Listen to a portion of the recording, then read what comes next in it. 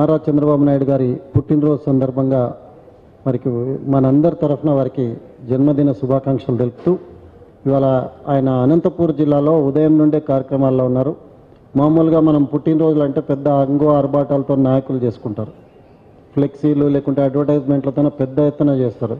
కానీ మన నాయకుడు మొదటి నుంచి కూడా హైదరాబాద్లో ఉన్న అక్కడున్న జనం మధ్యన నిరాడంబరంగా ఉండడం ఆయనకు అలవాటు. ఇవాళ కూడా అదే రీతిలో అనంతపూర్ జిల్లాలో వారి కార్యక్రమం ఉంది. మరి ఈ సందర్భంగా వారికి ప్రత్యేకంగా జన్మదిన శుభాకాంక్షలు తెలుపుతూ ఎన్టీ రామారావు గారు పార్టీ పెట్టినప్పుడు ఆత్మగౌరవం నినాదంతో పెట్టినారు చంద్రబాబు నాయుడు గారు ఆత్మవిశ్వాసంతో పార్టీని ముందుకు కొనసాగిస్తున్నారు. మనం కూడా అదే బాటలో నడుద్దామని చెప్పి మరి ఎన్టీఆర్ ఆశయ సాధన కోసం చంద్రబాబు నాయుడు గారి ఆలోచన విధానాన్ని అమలు చేసేందుకు పునరంకితమైదాం మనం అందరం అని చెప్పి విజ్ఞప్తి చేస్తూ ఇవాళ రాష్ట్రంలో జరుగుతున్న పరిస్థితుల మీద పెద్దలు వివరించినారు. నేను ఒకే విషయం యాడ్ చేసి ముగిస్తాను. ఇవాళ కూలీలకు పోయే వాళ్ళందరూ కూడా బంగారు కూలీలు వాళ్ళు. వాళ్ళు బంగారు తెలంగాణ తెచ్చే దాంట్లో భాగంగా బంగారు కూలీలుగా పోతున్నారు కనుక ఆ రకమైన కూలీలు వస్తాయి. ఈ సందర్భంగా డబ్బులు ఇచ్చే ఆ షాప్ యజమానులకు వాళ్ళకు విజ్ఞప్తి చేస్తున్నా మరి మన కార్మిక నాయకులు కూడా ఇక్కడ ఉన్నారు. మీ దగ్గర పనిచేసే వాళ్ళకు ఒక పది శాతం వేతనం పెంచండి.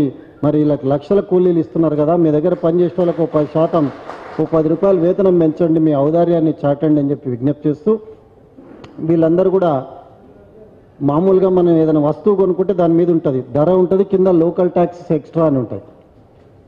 మీరు రోజు సంపాదించే దానికి అదనంగా మళ్ళీ సంపాదించడానికి పోయినట్టుంది తప్ప ఇది ప్రజల మీద మరో భారం వేయడానికి మీరు పోతున్నారు. రెగ్యులర్గా సంపాదించిన డబ్బులతోనే వాళ్ళు ప్లీనరీలు జరుపుకోవచ్చు. కానీ జనానికి షో చేయడానికి డ్రామా చేయడానికి కూలీ పని చేస్తున్నట్టుగా మరో కార్యక్రమానికి తెరదించినారు.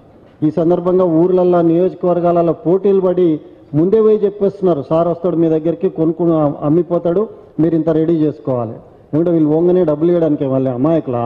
లేకుంటే వీళ్ళేం పెద్ద సర్వీస్ చేసి పెట్టినరా నువ్వు ఇది ఎట్లా రెగ్యులర్గా తీసుకుంటున్నావు? దాంట్లో భాగంగా ఇవ్వాలని మీ అకౌంట్లో ఇది ఇస్తున్నావు అన్నట్టుగా ఇస్తున్నారు తప్ప ఎవ్వరు ప్రేమతోనో వీళ్ళ కార్యక్రమాలకు ఇవ్వటం లేదు.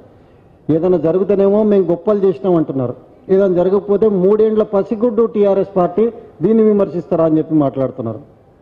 పనులు జరిగిన దగ్గర పోజులు కొడుతున్నారు. పనులు జరగకపోతే అమాయకులమని నటిస్తున్నారు. మనకు ఊర్లలో సామెత ఉంటుంది. తినేటప్పుడేమో మేసేటప్పుడు కోడెల్లా దున్నేటప్పుడు దూడలల్లా ఉన్నాడు అనే సామెత ఉంటుంది. మేసేకాడనేమో పెద్దగానే మేస్తున్నారు. మరి దున్నడానికి తీసుకుపోతేనే దూడనని దూడలలో పోయి నిలబడే వాతావరణం ఉంది.